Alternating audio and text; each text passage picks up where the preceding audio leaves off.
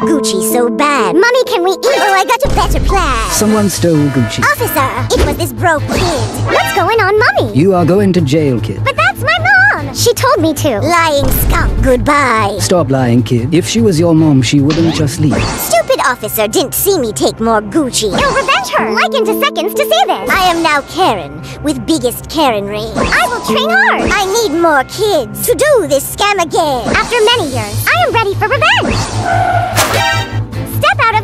Daughter, how did you escape prison? I punched the wall. Please forgive me. If you answer this question, I will forgive you. Sure, that's easy. How do birds feel when flying? I don't know. What a stupid question. Then find out and tell me. Did she deserve this?